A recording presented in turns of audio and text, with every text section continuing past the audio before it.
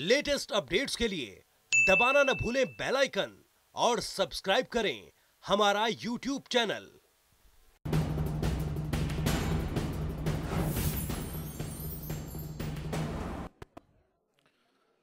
तो अब मैं गुजारिश करूँगा जनता टीवी के एग्जीक्यूटिव एडिटर प्रदीप डबास जी, अनिल जैन जी की वो रतनलाल कटारिया जी को स्टेज पर लेकर आए। तो अगले सत्र का हम आगाज़ करने जा रहे हैं जोरदार तालियाँ हो जाए अंबाला से सांसद रतनलाल कटारिया जी के लिए, जो अब आपके ही चुनिंदा सवालों का वो जवाब देंगे। व्हाट्सएप नंबर लगातार फ्लैश हो रहा है, जिस पर आप हमें व्हाट्सएप कर सकते हैं अपने सवाल। अगले एक घंटे तक रतनलाल कटारिया आपके सम्मुख होंगे।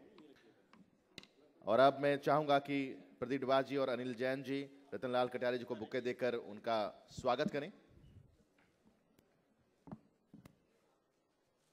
ये वो पल है जब तमाम जो लोग हैं और उनसे जुड़े जो सवाल हैं अपने सांसद से, हालाँकि राजनीति की एक नई दिशा देने की कोशिश, एक नया बदलाव इस कार्यक्रम के आगाज़ में ही रखा गया कि सांसद से किन किन सवालों के जवाब होने चाहिए।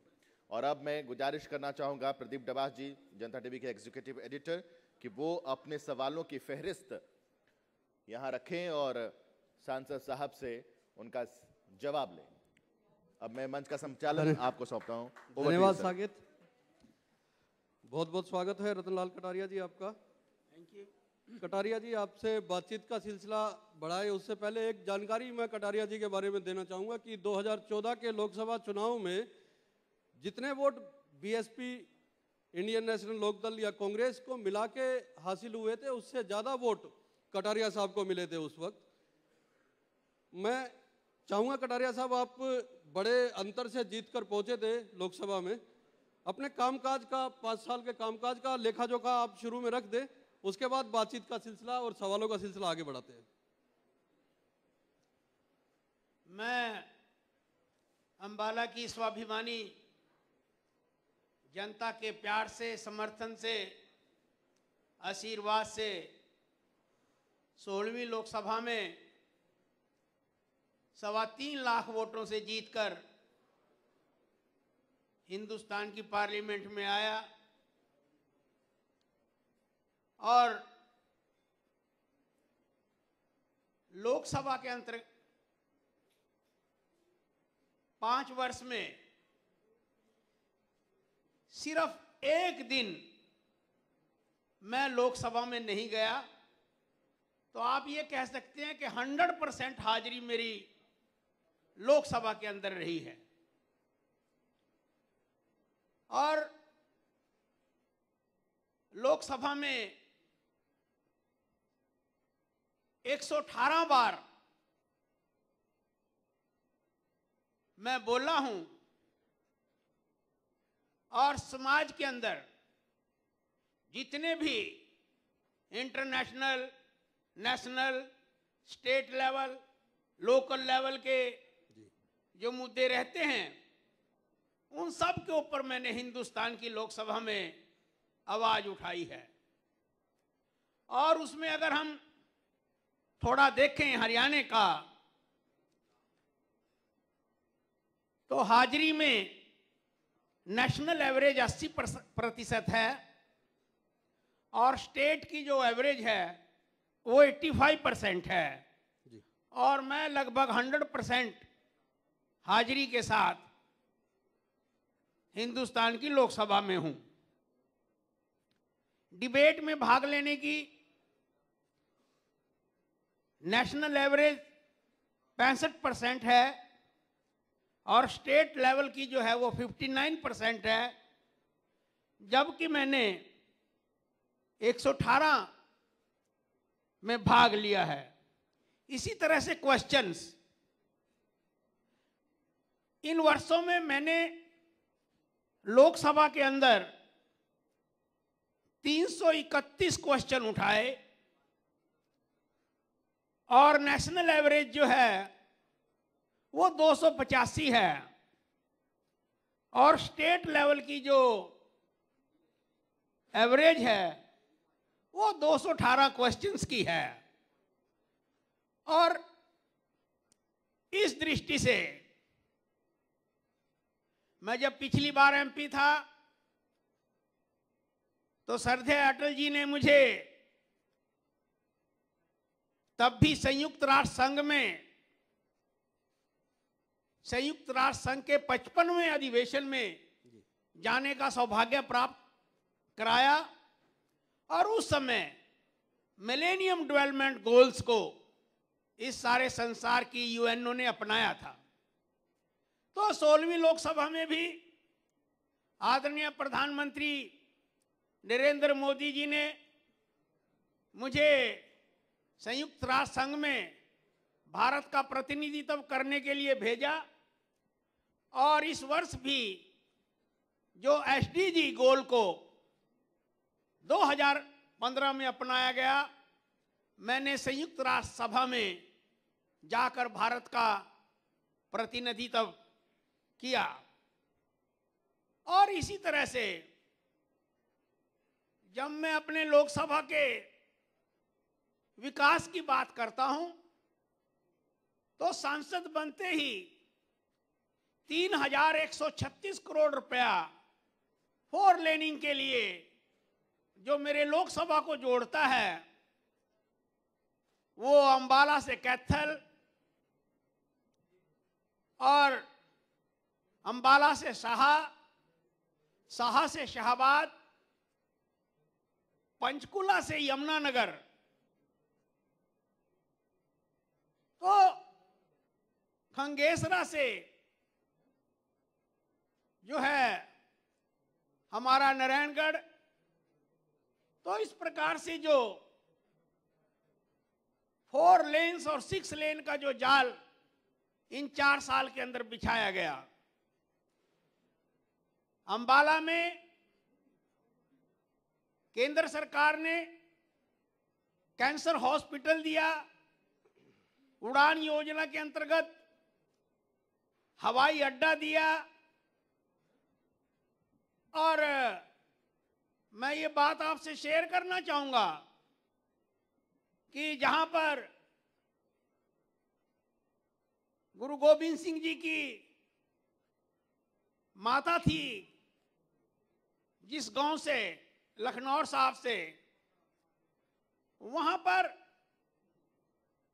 60 साल पहले एक वीएलडीए कॉलेज की आधारशिला रखी गई थी। बना नहीं, लेकिन अब आदरणीय मनोहर लाल जी के नेतृत्व में उसका भी हमने काम चलवाया। और भारत की संस्कृति से संबंधित आदि बद्री वहाँ से जो माँ सरस्वती का उद्गम हुआ है वो भी पहली बार हमारी सरकार के कार्यकाल में हुआ है और लोकसभा में। कटारिया साहब तमाम उपलब्धियाँ सौ सौ फ़ीसदी हाजिरी लोकसभा में। उसके बावजूद गुमशुदगी के पोस्टर लग गए आपके आप एमपी बनने के बाद लोगों के बीच पहुँचे ही नहीं अपने संसदीय क्षेत्र में नहीं पहुँचे शिकायतें लोगों को रहती है। इस पे यहाँ तक कि आप जान रहे हैं आपके ही ज़िले से एक मंत्री भी हैं राज्य सरकार में। उन्होंने तो काफ़ी कुछ कहा भी इस, इसको लेके। आप आप जो कार्यकर्ताओं से मुलाकात नहीं करते हैं लोगों से नहीं मिलते हैं काम नहीं होते शिकायतें ये रहती है लोगों की। इससे बड़ा झूठ का पुलंदा कोई हो नहीं सकता। और जिस आदमी ने ये बात की थी पोस्टर की चार साल पहले वो अभी मुझे जो जानकारी मिली है, छह महीने की जेल काट के आया है। और अनसोशल एलिमेंट है। और, उसको लगता था कि एक मेंबर पार्लियामेंट के खिलाफ कुछ बोलने से तुझे मीडिया के अंदर कुछ थोड़ी सी प्रोमिनेंस मिल जाएगी। और इस चक्कर में आके उसने ये घृणित कृत्य किया था। और अभी वो छह महीने की हवालात काट के आया है। कल आपका बयान था कि लोकसभा और विधानसभा के चुनाव एक साथ होने चाहिए पहले होने चाहिए। हालाँकि सरकार के कुछ विधायकों का भी मत है। मुख्यमंत्री से पूछा गया तो उन्होंने कहा कि वो चाहते हैं कि अपने समय पे हो चुनाव। लगता है कि टिकट में कोई संदेह है आपकी इस बार? देखिए ऐसा है कि हैपोथेटिकल क्वेश्चन है। मैंने पहले भी कहा है कि टिकट जो होता है, वो पार्टी की अमानत होता है।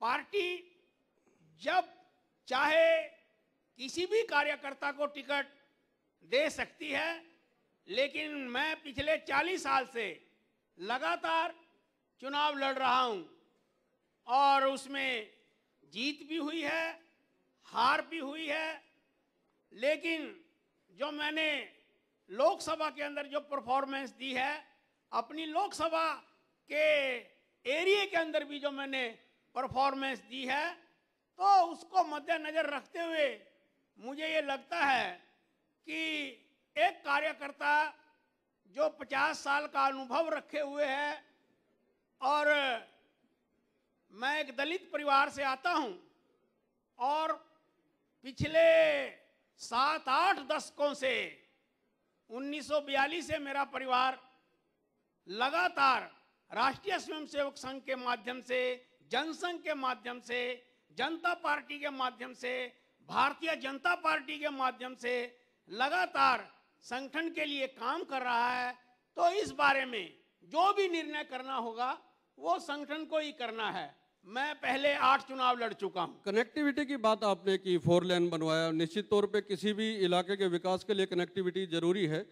लेकिन एक सवाल ये है कि आपने अ, 2014 में भी एक चुनावी मुद्दा रखा था यमुनानगर नारायणगढ़ चंडीगढ़ के लिए नई रेल लाइन बिछाए जाने की बात आपने की थी 2009-10 के बजट में इसकी घोषणा भी हुई थी लेकिन अभी तक इसका ना तो सर्वे हुआ है ना ज़मीन का अधिग्रहण हुआ है।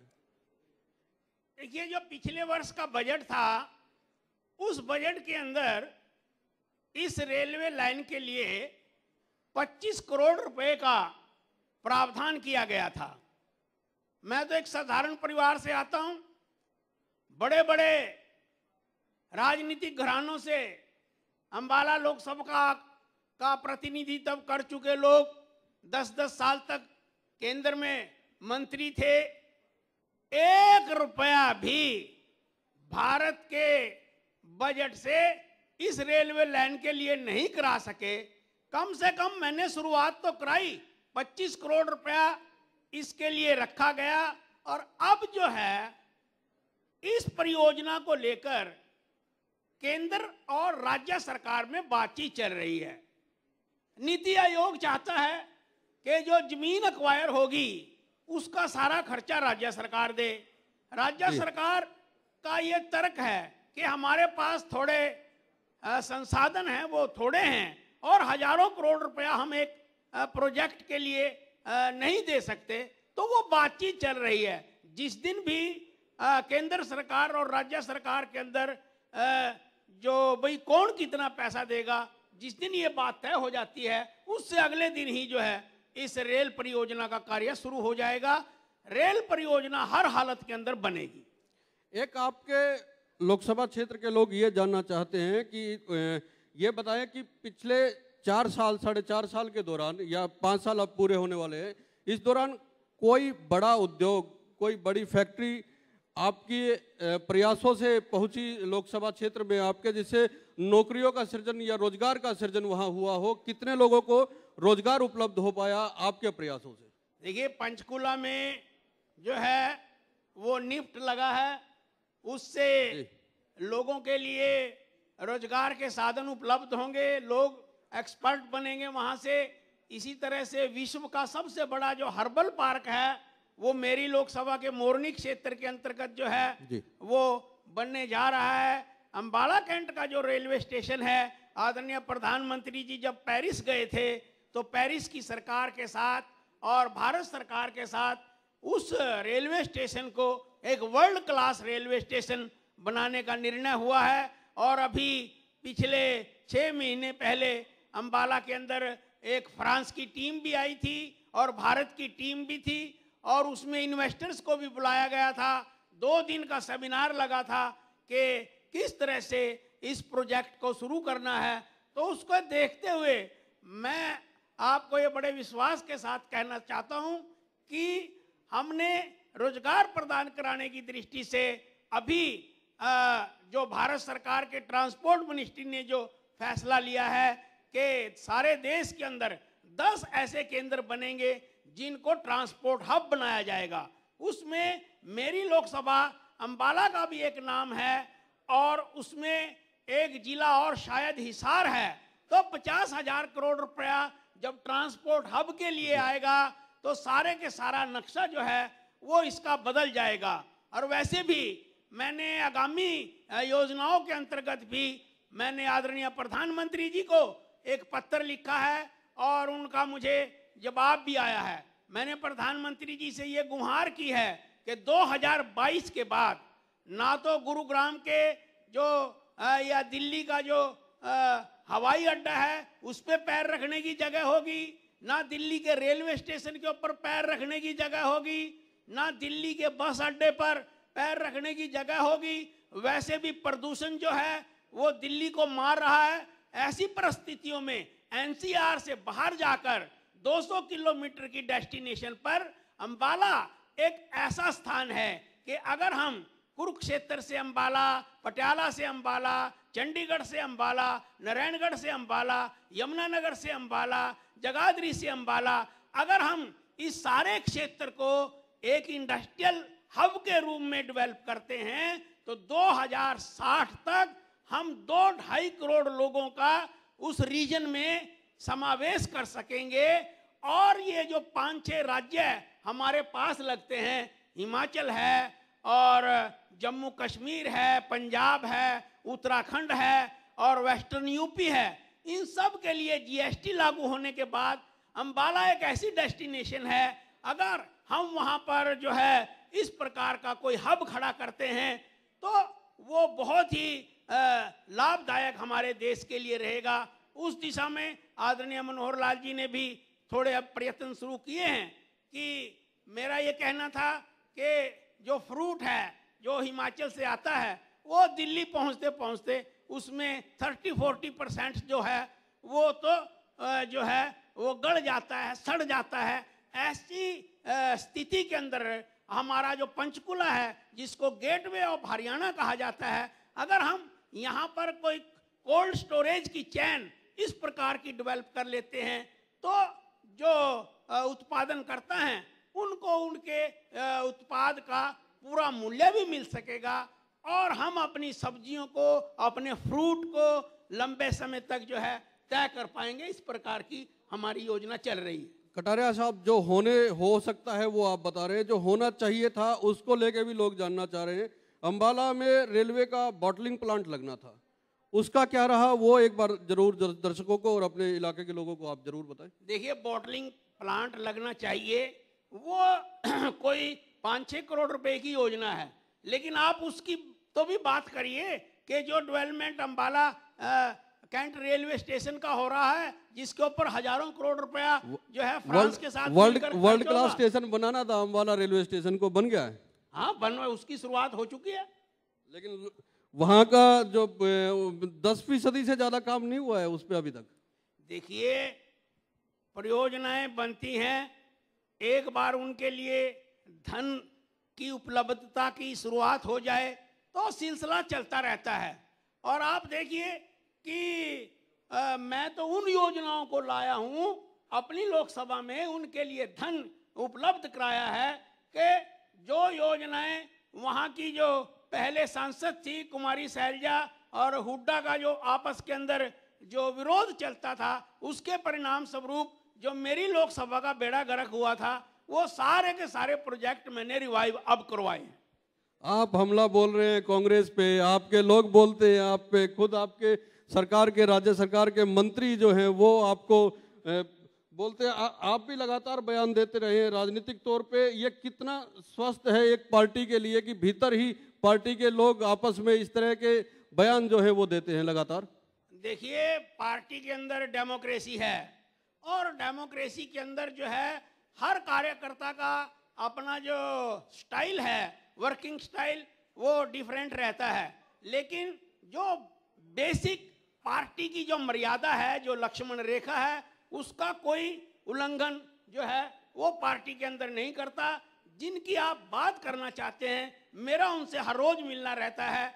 एक दूसरे के प्रति जो सम्मान की भावना है, उसको हम दर्शाते रहते हैं। और आदरणीय मंत्री जी बहुत ईमानदार हैं, बहुत हार्ड वर्कर हैं। लेकिन डिफरेंस ऑफ़ ओपिनियन होना डेमोक्रेसी के अंदर कोई बड़ी बात नहीं है। मैं तो डेमोक्रेट आदमी हूँ और इसलिए एक बहुत ही गरीब घर से आकर मैंने पार्टी में अपना स्थान बनाया है और प्रजातंत्र के लिए जिया हूँ और प्रजातंत्र के लिए ही जीऊँगा। जो भी व्यक्ति जो है, इस प्रकार की कोई तानाशाही की बात करने की बात करता है, चाहे वो कहीं भी है, हाउस एवर पावरफुल ही में भी और मैं इस प्रकार के व्यक्ति को लाइक नहीं करता। कोई भी हो चाहे जो आ, जो है वो तानाशाही में विश्वास रखता हो। तानाशाही में विश्वास रखता हो। अच्छा ये एक लोग जानना चाहते हैं आपके इलाके के ही लोग हैं वो जानना चाहते हैं कि पिंजौर में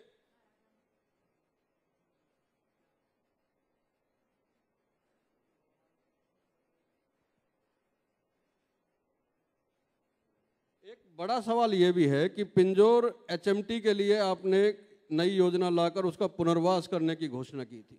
हाँ वो शुरू हो चुका है। अभी उसकी लैंड जो है वो अक्वायर हुई है और उसके ऊपर हंड्रेड एकड़ के अंदर जो है वो फल फ्रूट का जो है वो काम शुरू हो गया है और हमने बात शुरू की है।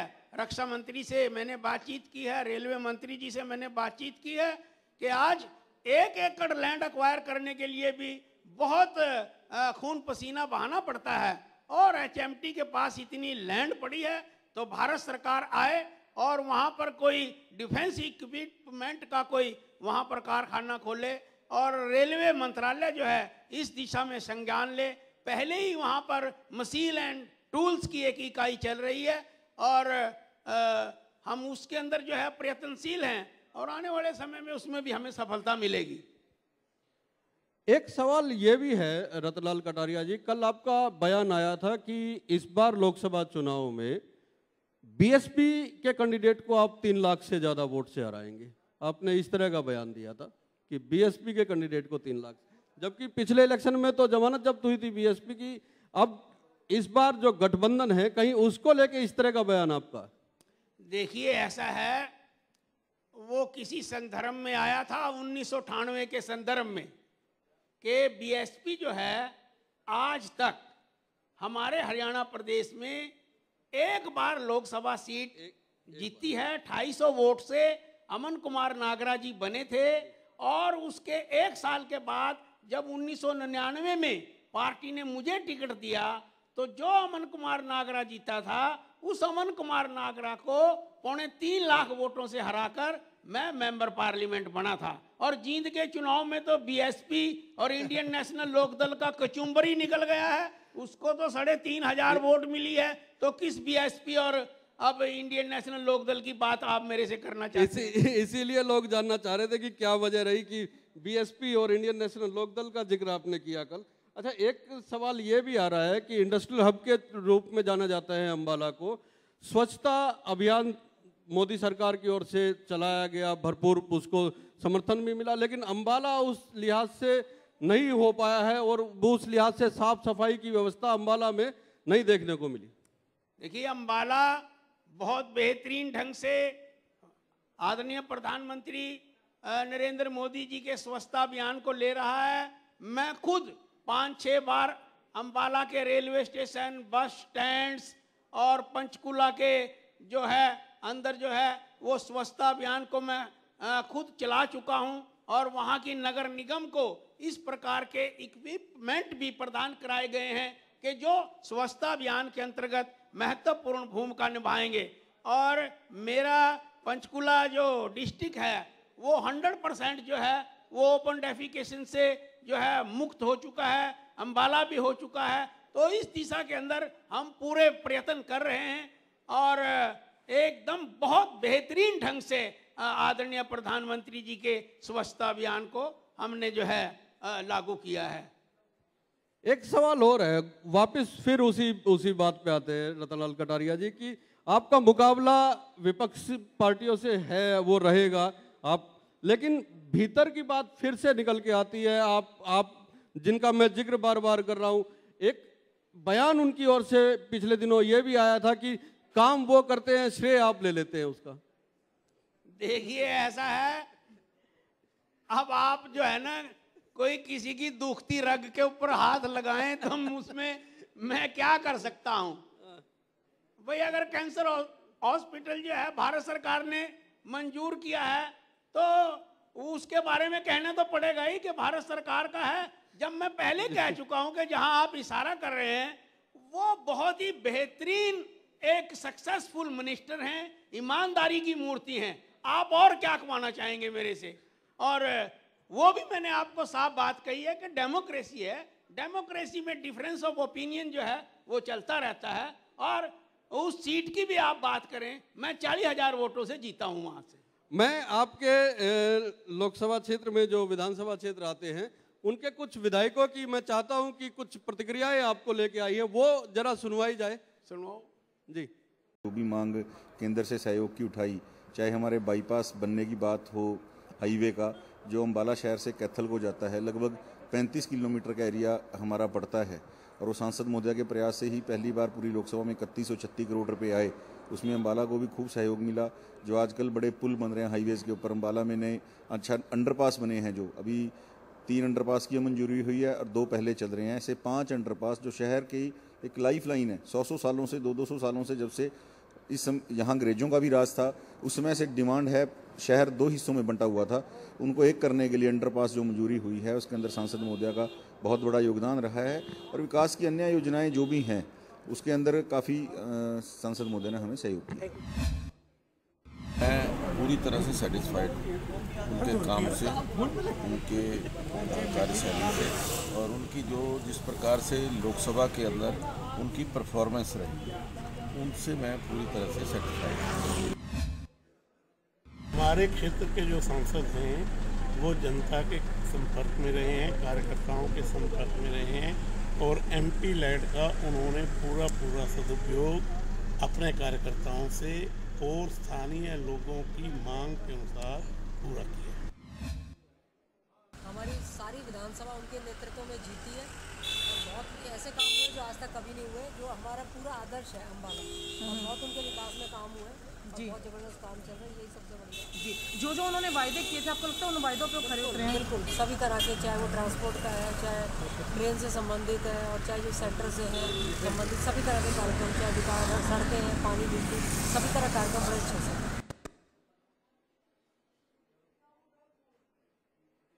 जी। सभी ने बेहतर बताया है आपके कामकाज को सिर्फ़ एक एक को छोड़ के फिर वही बात आती है। लेकिन रोड मैप आपका, आगे के लिए रोड मैप जरा आप बताए अपने पार्लियामेंट्री क्षेत्र के लोगों को कि क्या आपके योजनाएँ और रहेंगी, क्या आप वादे करना चाहते हैं अपने लोकसभा क्षेत्र के लोगों से? देखिए रोड मैप मेरा यही है कि मैं जब आज से इकतीस बत्तीस साल पहले छोटा मंत्री था हरियाणा में तो मैं गुड़गावा भी आया करता था, फरीदाबाद भी आया करता था तो मैं गुड़गांव को उस समय देखा करता था कि पर एकड़ ज़मीन जो है, मैं रेवेन्यू मिनिस्टर था। वो पैंतालीस पचास हज़ार रुपया प्रति एकड़ थी। और आज यहाँ पर आप दरख्तों से पूछिए कि आज डेवलपमेंट ने किस तरह से गुड़गांव को इंटरनेशनल मैप के ऊपर लाया है और किस तरह से वहाँ के किसानों में आम जनता के बीच में समृद्धि आई है। मैं ये चाहता हूँ कि दिल्ली को प्रदूषण से छुटकारा मिले, जनसंख्या के बोझ से छुटकारा मिले। ऐसी दृष्टि में अंबाला ही आसपास के इस क्षेत्र में एक ऐसी डेस्टिनेशन है कि जिसको इंडस्ट्रियल हब बना के जो है वो विकसित किया जाता है। जिस रेल लाइन का आपने ज़िक्र किया, मैंने उसको 10-15 बार लोकसभा में भी उठाया और आदरणीय पीयूष गोयल जी जो रेलवे मंत्री हैं और यमुनानगर नारायणगढ़ उनकी जो पृष्ठभूमि है उन्होंने बजट में भी बोलते हुए कहा है कि उनकी जो पृष्ठभूमि है वो अम्बाले की है। उनके पिताजी अम्बाले से ही जो है वो मुंबई गए थे। तो मैंने उनसे बहुत कहा बहुत रिक्वेस्ट की है कि आप जो है ये जनहित में है लेकिन बार बार इस प्रकार का जवाब आता है कि अंबाला होते हुए जो रेलवे लाइन चंडीगढ़ जाती है, उसमें और नारायणगढ़ जो रेलवे की आप परियोजना लेकर आए हैं, इसमें पंद्रह किलोमीटर का ही केवल मात्र डिस्टेंस पड़ता है। तो आप 1500 किलोमीटर के लिए जो है 1500 करोड़ रुपया क्यों खर्च करवाना चाहते हैं? लेकिन ये जो योजना मंजूर हुई है, ये सोशो इकोनॉमिक बेस के ऊपर शुरू हुई है। मैंने तर्क भी दिया है कि काले आम वहाँ पड़ता है इंडस्ट्रियल हब है हिमाचल का। तो आपका लेकिन एक सवाल एक सवाल आप लगातार गुड़गांव के विकास की बात कर रहे हैं। मैं ये जानना चाह रहा हूँ कि तेरह चुनाव अंबाला में हुए अब तक लोकसभा के और छह बार आपकी पार्टी भी वहाँ से चुन के आई है। अब सांसद आपकी पार्टी से एक बार अमन कुमार नागरा और कांग्रेस छह बार रही। लगातार आपके हिस्से में लोगों ने विश्वास जताया, वोट दी। उसके बावजूद आप उदाहरण अगर गुड़गांव का देंगे तो ये न्याय तो नहीं कह सकते इसको लोगों के साथ, उनकी भावनाओं के साथ कि आपके ऊपर इतना भरोसा जताने के बावजूद आप उदाहरण अगर गुड़गांव का दे रहे हैं तो। देखिए, मैं ये कहना चाहूँगा कि बचपन से ही जिन्होंने मेरी उंगली पकड़ के राजनीति के अंदर मुझे चलना सिखाया ऐसे मेरे आदर्श आदरणीय चौधरी सूरज भान जी चार बार वहाँ से बीजेपी के एमपी बने। जी। लेकिन उनको केवल तेरह दिन अटल जी की छियानवे वाली सरकार में आ, मंत्री रहने का मौका मिला। और तब से उन्होंने पूरी कोशिश की है। आज वहाँ पर जो आ, हरियाणा प्रदेश का सारे का जो बीएसएनएल का ऑफ़िस है जी। डीआरएम का जो आ, वो एक जो है संस्थान बना है और इसी तरह से पोस्ट मास्टर जर्नल का वहाँ पर जो स्थान बना है वो सारा आदरणीय चौधरी सूरज भान जी ने अपने समय के अंदर कराया था और अम्बाले की पहचान बनाई थी हम भी उसके अंदर लगे हैं चाहे अब वो पासपोर्ट का ऑफ़िस खुला हो और बहुत सी योजनाएँ लेकर हम अपने लोकसभा क्षेत्र के अंदर आने वाले हैं। शिक्षा की बात करते हैं रतनलाल कटारिया जी जो पिछले साल दसवीं और बारहवीं के बोर्ड के रिज़ल्ट आए। मैक्सिमम स्कूल अंबाला के ऐसे थे जहाँ परसेंटेज पास बच्चों की 10 से भी कम थी। देखिए ऐसा है कि मैं जब हरियाणा विधानसभा में था उन्नीस सौ सतासी में आप मेरा भाषण निकलवा कर देखें। और उस समय भी हमारी सरकार थी, चौधरी देवीलाल जी मुख्यमंत्री थे, तब मैं सदन के अंदर कहा करता था कि अव्वल में तो गाँव में कोई स्कूल नहीं है, स्कूल है तो मास्टर नहीं है, मास्टर है तो टाट नहीं है, टाट नहीं है तो चाक नहीं है। तो इस तरह का माहौल, भाई, और मैं कहा करता था पंचमुखी मास्टर के दसवीं तक का स्कूल है और एक अध्यापक है तो वो बच्चों को 45 मिनट तो पहली से लेके चौथी वालों को कहता, बोलो वे बच्चों, दो दूनी तीन तो इस प्रकार का वहाँ पर जो शिक्षा का सारा काम चलता था तो वो जो ढर्रा था, वो चलते चलते उसने देश का बेड़ा गर्क किया है, और ये बात मेरे लिए बड़ी दुख की बात है, क्योंकि मैं तो दलित समाज से आता हूँ। सबसे ज़्यादा बड़े बड़े लोगों के बच्चे तो कन्वेंट के स्कूलों में चले जाते हैं। हमारे बच्चे कहाँ जाएँ? हमारे बच्चे कहाँ पढ़े? तो उस दृष्टि से क्वालिटी एजुकेशन जो है उसके ऊपर जो है ध्यान दिया जाना चाहिए। और जब मैं यूएनओ के अंदर गया था तो उसके अंदर भी मेरा जो फोकस रहा है, इस देश की जनता के लिए कि जब तक हम जीडीपी का छह प्रतिशत एजुकेशन और हेल्थ के ऊपर खर्च नहीं करेंगे, तब तक हम जो भारत को एक महान राष्ट्र बनाने में लगे हुए हैं, उसमें कहीं ना कहीं कुछ कमी देखने को मिलेगी। इसीलिए मोदी सरकार जी ने जो फाइनेंशियल इंक्लूजन के जो कदम उठाए हैं और उनकी जितनी भी फ्लैगशिप की योजनाएँ हैं, उन सब का दरवाज़ा गरीब के घर पर जाकर खुलता है। और आदरणीय जावेडकर जी ने अभी इस बारे में बहुत से लर्निंग प्रोसेस के बारे में बहुत से कदम उठाए हैं और अध्यापकों को ट्रेंड किया जा रहा है। बच्चों के लिए सहूलताएँ जो है हमारी सरकार दे रही है। और इसके अंदर जितना और कुछ करने को बनेगा तो हम उसके अंदर अवश्य करेंगे। ये बहुत ज़रूरी है कि भारत को स्किल की दृष्टि से अ, अच्छा बनाने में हमें रोल प्ले करना होगा। अभी बात नौकरियों की चल रही है।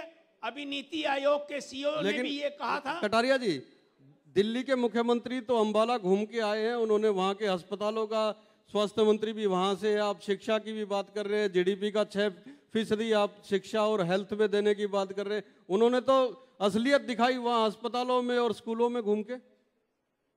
देखिए मैं भी कमाल मानता हूँ आपका।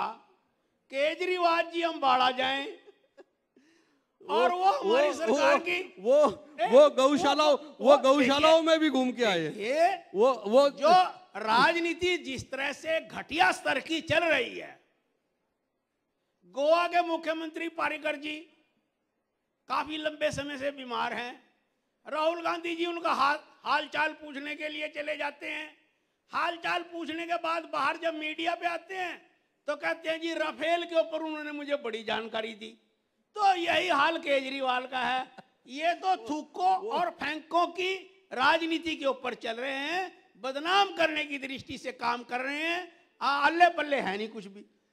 कटारिया साहब, वो कहते हैं उनचास पैसे आप रोज दे रहे हो और वो उनचास रुपए दे रहे हैं रोज़ाना एक गाँव, एक गाय के लिए। देखिए, आदरणीय मनोहर लाल जी, जिस प्रकार से हरियाणा का विकास कर रहे हैं, उसकी मिसाल कहीं देखने को नहीं मिलेगी। अभी पाँच कॉरपोरेशन के चुनाव हुए हैं, भारतीय जनता पार्टी पाँचों की पाँचों कॉरपोरेशन बड़े भारी बहुमत से जीती, इतना ही नहीं। यमुनानगर मेरी लोकसभा में एक कॉरपोरेशन का चुनाव था। मैं आपको और दर्शकों को यह बताना चाहूँगा कि वहाँ से हमने एक धोबी समाज के लड़के मदन चौहान को टिकट दी तो सब कहते थे कि कहा है बीजेपी? साफ़ हो जाओगे। आपने क्या डिसीज़न किया? 500 वोट वहाँ पर धोबी समाज की नहीं है। लेकिन वही लड़का इकतालीस हज़ार वोटों से जीत कर आया। अभी जींद का चुनाव हुआ है। जींद के चुनाव में भारतीय जनता पार्टी जब से हरियाणा बना है, हम कभी नहीं जीतते। और अब की बार जिस प्रकार से हैवी वेट आ गए थे, चौधरी देवीलाल का पड़पोता आ गया सूर्यवाड़ा आ गया तो सब कहते थे कि बीजेपी की लुटिया ज़रूर डूबेगी। लेकिन हमने जिस प्रकार की परफॉर्मेंस दी है, जिस प्रकार से आदरणीय मनोहर लाल जी ने अपने कार्यकाल में चौवन हज़ार लोगों को पक्की नौकरियाँ दी हैं। मैं आपको बड़े दावे के साथ कह सकता हूँ कि आने वाले समय में सभी राजनीतिक दलों की नानी याद दिला देंगे और जमानत जब्त करा देंगे। ले, लेकिन लेकिन लेकिन वादा तो लाखों नौकरियों का था चौवन हज़ार का तो नहीं था। देखिए मैं ये कहना चाहता हूँ कि जीत तो जीत ही है और बड़े सम्मान के साथ हम वहाँ पर जीतते हैं और जिस केजरीवाल की आप बात कर रहे हैं उस केजरीवाल ने तो भी वो जो एक इंडियन नेशनल लोकदल से टूट के पार्टी खड़ी हुई है उसको समर्थन दिया था। बीएसपी ने भी उसी परिवार को समर्थन दिया था। सबके हाथों के तोते उड़ गए हैं और बीजेपी जीती है।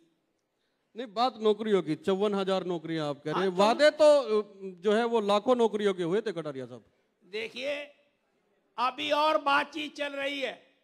मैं अभी पिछले हफ़्ते ही मुख्यमंत्री जी के साथ चंडीगढ़ से अंबाला उनके साथ गाड़ी में बैठा था तो किस प्रकार की रोज़गार की योजना, योजनाएँ और उनके दिलो दिमाग के अंदर चल रही हैं?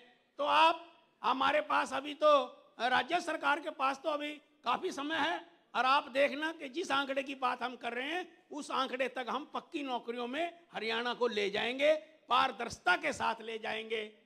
और ऐसे ऐसे बच्चों को नौकरी मिली है, जो जीवन में कभी सोच भी नहीं सकते एक बार एक लड़का मेरे विधानसभा क्षेत्र का, वो किसी के यहाँ मजदूरी करने के लिए, पौध पाड़ने के लिए गया हुआ था जीरी में। तो पुलिस का एक आदमी गया हाँ भाई, तेरी भर्ती हो गई है। तो वो कहता है, मेरा मखौल क्यों उड़ा रहे हो? मेरी ऐसी किस्मत कहाँ कि जो मेरी भर्ती हो जाए? उसने कहा, भाई, नहीं नहीं, तुझे अभी मधुबन आज ही ज्वाइन करना है। और तभी सरपंच ने सौ का नोट उसको दिया और वो लड़का वहाँ से अंबाड़े से मधुबन आया तो ऐसे ऐसे लोगों को रोज़गार मिला है। अभी मैं जींद गया था ऐसे ऐसे एक भाई बहन मिले कि हमारी कोई सिफारिश नहीं थी, लेकिन हमारी नौकरी जो है वो मेरिट के ऊपर लग गई है।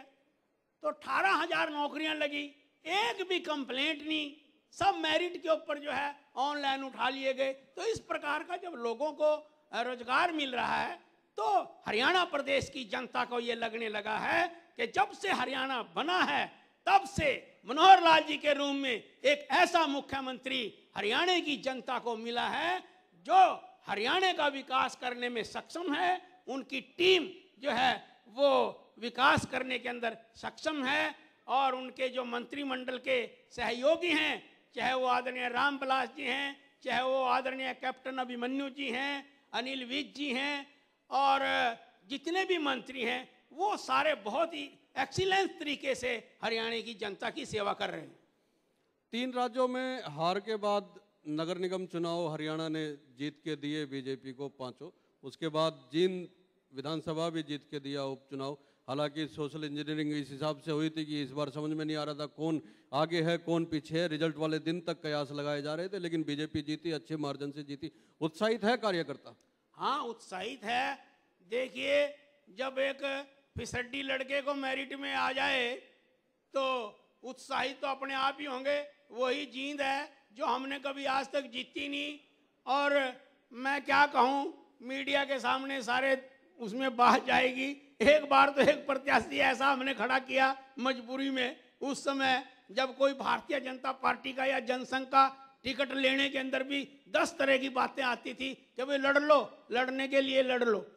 और जब मैं बीजेपी का अध्यक्ष बना मैं वो कार्यकर्ता था बीजेपी का जब इसी फरीदाबाद के अंदर इसी फरीदाबाद के अंदर सेक्टर 29 में जब मेरे ऊपर जो है सरकारी हमला हुआ और मुझे चोटें लगी और मैं आईसीयू में जो है आ, दिल्ली के तीन दिन रहा तो उस समय उसके बाद मैंने ये नारा दिया था कि अपना ओक्का अपनी मरोड़, पिया पिया, नहीं दिया फोड़। हम तो अपना घर अपने आप बसाएँगे, अपने पैरों पे बीजेपी को खड़ा करेंगे। और तब आदरणीय चौटाला जी और उनके बच्चे सारे मेरा मज़ाक उड़ाया करते थे कटारिया पूर्ण राजनीति करेगा। मैंने कहा हाँ पूर्ण राजनीति करेंगे। कहा करते थे कि 500 वोट नहीं पड़ने की तेरी। मैंने कहा 500 ये तो समय बताएगा। तो उनके बिना भी मैं जो है सवा तीन लाख वोट से जीत के आया हूँ लोकसभा के अंदर। सबकी हेकड़ी निकल गई है हरियाणा प्रदेश के अंदर। तो बजट आ गया विधानसभा में जीत भी हुई। क्या चाहते लोकसभा विधानसभा साथ होने चाहिए? वजह क्या है? या अपने वक्त पे होने चाहिए? मुख्यमंत्री कह रहे हैं वक्त पे होने चाहिए। देखिए ऐसा है निर्णय पार्टी करती है। संगठन करता है। और आदरणीय मुख्यमंत्री जी फीडबैक देंगे पार्टी में। लेकिन जिस प्रकार से ये बात चली है कि सारे देश की विधानसभाओं के चुनाव जो है लोकसभा के साथ होने चाहिए तो मैं तो इस बात में मुझे कोई हर्ज नहीं है कि पाँच चार महीने का समय बाद में बचता है। और अगर हाईकमांड इस बारे में कोई निर्णय लेगी, आदरणीय मुख्यमंत्री जी को इस प्रकार की कोई अपनी रिपोर्टिंग करेंगे तो हो जाने चाहिए चुनाव। क्या लगता कटारिया जब पूरा लेखा जोखा आपने रखा अपने कामकाज का चार साढ़े चार साल में जो आपने काम किए लोग भरोसा करें आप पे? मेरे पास से तो बचपन से ही मेरे ऊपर भरोसा है।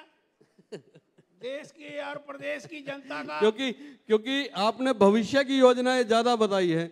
नहीं वर्तमान की भी मैंने बहुत बताई है आपको। जी। हाँ मैंने इतनी तो योजनाएँ आपको बताई हैं, एक मेंबर पार्लियामेंट के समय में। और देखिए, दूसरा ये है कि मेरी लोकसभा में तो राम राज आ रहा नौ एमएलए हैं, एक लोकसभा में नौ के नौ भारतीय जनता पार्टी के हैं।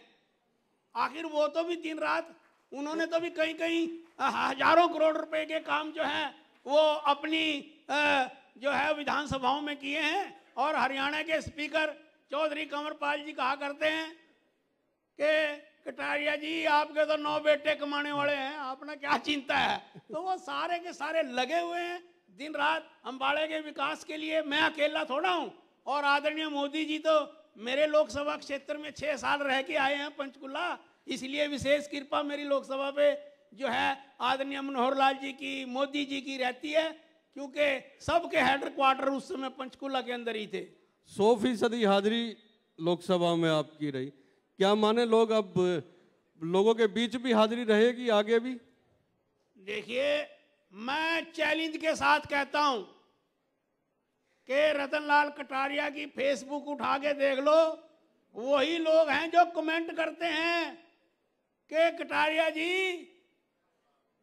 आप तो 24 घंटे जो है फेसबुक पे ही रहते हैं। अरे फेसबुक पे तो रहता हूँ, जिन 10 गाँव में मैं जाता हूँ, वहाँ पर क्या मैं करके आया हूँ, उसको अपलोड करता हूँ। कोई दिन ऐसा नहीं है लोकसभा के बाद कि जिस दिन मैं अपनी लोकसभा के अंदर वहाँ जाता नहीं।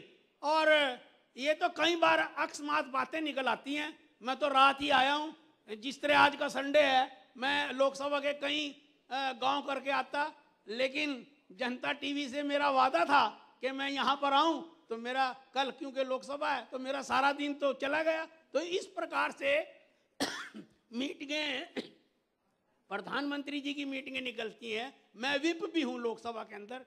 वहाँ पर सारे मेंबर हमारे एनडीए के उपस्थित रहे। मुझे पाँच राज्यों का जिम्मेवार बनाया हुआ है कि सारे मेंबर पार्लियामेंट लोकसभा के अंदर रहें, क्योंकि जब तक 55 एमपी लोकसभा के अंदर बैठे नहीं होते तो तब तक लोकसभा नहीं चलती। तो कई बार ऐसे मौके आते हैं। तो जैसे अब ये जो बिल पास किया गया था अभी लोकसभा के अंदर तो मेरे गण के जिन राज्यों को मैं देखता हूँ तो दो मेंबर पार्लियामेंट बीमार थे, जनरल खंडूरी जी और उस दिन होशियारी जी, दोनों पूर्व मुख्यमंत्री हैं, वो भी बीमार पड़ गए, ऑल इंडिया मेडिकल में चले गए। तो मेरी जिम्मेवारी थी मुझे जो लेजिस्लेशन मिनिस्टर हैं, उन्होंने कहा कि आपके दो लोग नहीं आए हैं, इसलिए कुछ भी करें, चाहे हवाई जहाज़ का प्रयोग करें, चाहे किस तरह से करें, उनको हाउस के अंदर लाना है। तो फिर मुझे मेहनत तो करनी पड़ती है उसमें। तो इस प्रकार से कई बार ये जो मैंने बताया आपको जो तीन सौ क्वेश्चन उठे हैं, और जो सवा सौ के लगभग स्पीचेस हुई हैं एक एक मेरी लोकसभा से ही एक मेंबर पार्लियामेंट थे। वो स्वर्ग में है, मैं नरक में बैठा हूँ। आदरणीय राम प्रकाश जी, चार बार एमपी रहे। वो मेरा ख्याल चार सेकंड के लिए भी अपनी लोकसभा की सीट से 20 साल में उठे नहीं।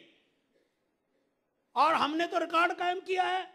हमने सिर्फ़ अपने हल्के की बात नहीं की, हमने सारे देश की बात की है। अगर आप, मैं ये, मेरे पास हैं, आप जनता को बताइए कि जिस तरह के क्वेश्चन मैंने लोकसभा के अंदर उठाए हैं वो केवल मेरी लोकसभा के नहीं हैं और वो सारे देश से संबंधित हैं इंटरनेशनल लेवल से संबंधित हैं और महिलाओं से संबंधित हैं। जैसे महिलाओं के ऊपर मैंने एक, एक दिन क्वेश्चन पूछा लोकसभा में कि महिलाएँ लोअर लेवल पे तो देखने को मिलती हैं लेकिन डायरेक्टर की पोस्ट पे कितनी महिलाएँ हैं? जब तक हम महिलाओं को उच्च पदों के ऊपर नहीं पहुंचाएँगे तो तब तक हम कैसे भारत को एक महान बनाएँगे जबकि 50 परसेंट जो है महिलाएँ जो हैं वो भारत की जनसंख्या का है। इस इसी तरह से बल्कि कई महिला सांसदों ने मेरे साथ मज़ाक में कहा कि कटारिया जी महिलाओं वाले मुद्दे भी आपने ले लिए।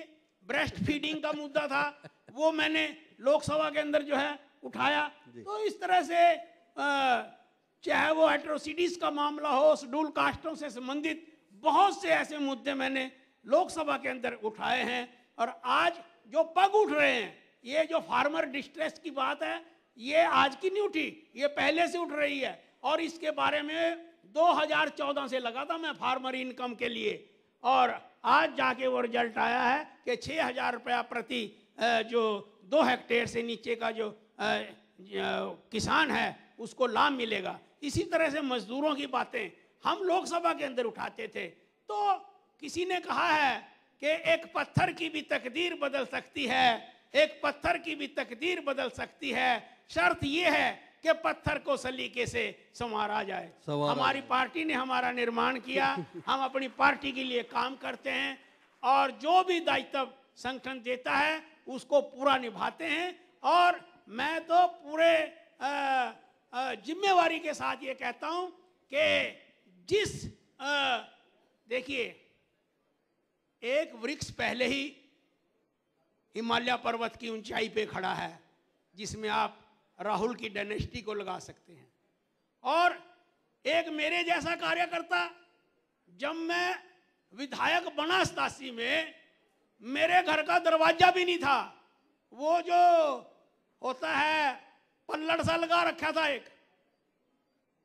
घर में टॉयलेट भी नहीं थी 87 में।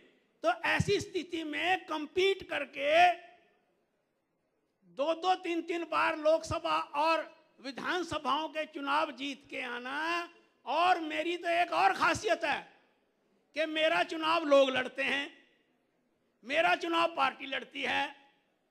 मैं तो बड़ी मुश्किल से वो जो नॉमिनेशन की फ़ीस होती है ना वो मैं देता हूँ। बाकी सारा कुछ जनता और पार्टी करती है। उसके बावजूद एक ऐसा व्यक्ति जो नीचे से उठकर ऊपर आया है और वो सवा तीन लाख वोटों से जीतकर हिंदुस्तान की लोकसभा में पहुँचता है तो मैं तो ये सोचता हूँ कि तेरा तुझको अर्पण क्या लागे मेरा? और जो मैंने सीखा है, तन समर्पित, मन समर्पित, और सोचता हूँ कि है मातृभूमि, तुझे क्या दूँ? जो एनर्जी बाकी बची है, वो भी भारत माता की सेवा में लगाएँगे। ये मेरा वादा है, जनता से। निश्चित तौर पे, बुलंद तरीके से आपने अपनी बात रखी, आपने जो काम करवाए, वो लोगों तक पहुँचाए, क्या योजनाएँ आपके मस्तिष्क में है, इस समय आपके मन में है, क्या आप करना चाहते हैं, वो आपने लोगों को बताने की कोशिश करी। लेकिन चौधरी बीरेंद्र सिंह कह के गए थे कि सिर्फ़ तीन लोगों की आवाज़ बुलंद है, और मोदी जी भी इस बात को मानते हैं, और वो कह रहे थे कि वो तो गा नहीं सकते और गा के गए भी नहीं। हम चाहते हैं कि आप कुछ ऐसा गा के दर्शकों तक बताए कि लगे कि हाँ एक व्यक्तित्व का ये पहलू भी आपका है जो अब तक लोग समझ नहीं पाए थे, देख नहीं पाए थे।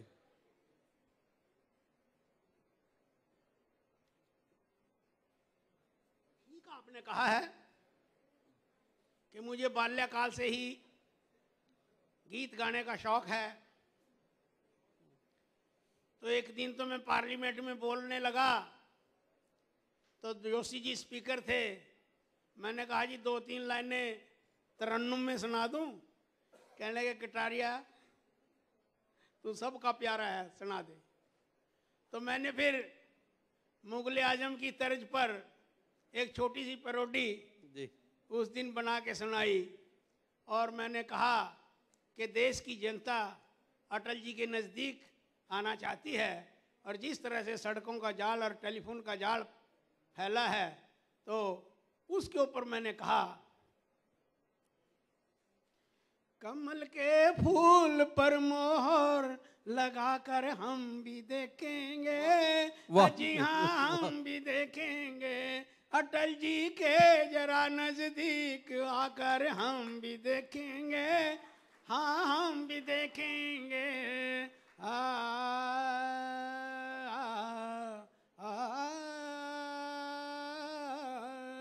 सुना है जब से अटल जी का जमाना है सुना है जब से अटल जी का जमाना है बिछा है गाँव गाँव में सड़कों का जाल और टेलीफोन लगाया है। एलपीजी सिलेंडर आज घर पे लाकर हम भी देखेंगे।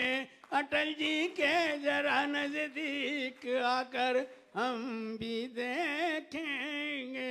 और एक लाइन और लास्ट में, अभी जो मोदी जी की रैली हुई थी, प्रधानमंत्री बनने से पहले हरियाणा के रेवाड़ी में। तो उसमें मैंने उस समय मोदी जी के लिए दो लाइने बनाई थी। आप कहो तो मैं सुनाऊं? जी जी बिल्कुल। है? तो उस समय मैंने बनाया था मोदी जी के लिए। और भ्रष्टाचार सारे भारत के कण कण में आज समा गया। घोटाले बाजों का इलाज करने यो नरेंद्र मोदी आ गया रे। नरेंद्र मोदी आ गया रे।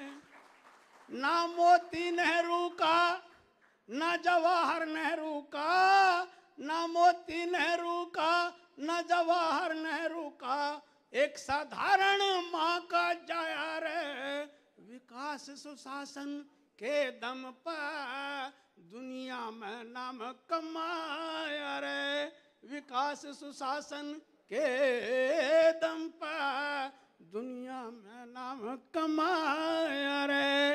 अपनी ओजस्वी वाणी से मोदी दुनिया के दिल पर छा गया रे। घोटाले बाजों का इलाज करने नरेंद्र मोदी बहुत आया वाह। थैंक यू बहुत बहुत शानदार आवाज़ के मालिक हैं रतन लाल कटारिया जी और आपका बहुत बहुत धन्यवाद हम करते हैं। आप जनता टीवी के मंच पर पहुँचे तमाम बातें आपने रखी हर पहलू पे बेबाकी से जवाब दिया हर सवाल का जवाब दिया। बहुत बहुत धन्यवाद रतन लाल समय कटारिया। इतना नहीं है 600 मुद्दे हैं। इंटरनेशनल लेवल के लेवल के जो मैंने लोकसभा के अंदर उठाए हैं। तो बहुत बेहतरीन ढंग से काम किया है जो एक सांसद का होता है। जी। थैंक यू धन्यवाद। धन्यवाद रतन लाल कटारिया जी। बहुत बहुत शुक्रिया। और इस सत्र में आपने तमाम उन पहलुओं को छुआ जिसकी दरकार आज के वक्त में है। बहुत बहुत शुक्रिया। और कटारे सर से गुजारिश है कि वो स्टेज पर रहें। और मैं रिक्वेस्ट करना चाहूँगा यहाँ पर अनिल जैन जी से कि वो भी एक बार स्टेज पर आए अगर वो मेरी आवाज़ सुन रहे और इसके साथ साथ मैं गुजारिश करना चाहूँगा प्रदीप डबास जी से कि सांसद साहब को सम्मानित करें वो। एक बार जोरदार तालियाँ हो जाए रतनलाल कटारिया जी के लिए, क्योंकि ना सिर्फ़ उन्होंने तमाम तथ्यों की बात की, इसके साथ साथ उन पहलुओं को भी छुआ और संगीत के माध्यम से भी अपनी बात यहाँ पर रखने की कोशिश की, अपनी धुन, अपनी आवाज़ से यहाँ पर अपनी बात को रखने की कोशिश की है। और हिंदुस्तान को ऐसे सांसदों की दरकार भी है जो अपने संसदीय क्षेत्र का न सिर्फ़ विकास करें, बल्कि उन मुद्दों को संसद के अंदर उठाने का भी काम करें। बहुत बहुत शुक्रिया। आपने वक्त निकाला और जनता टीवी के इस एमपी समिट का आप हिस्सा बने। इसके लिए बहुत बहुत शुक्रिया आपका।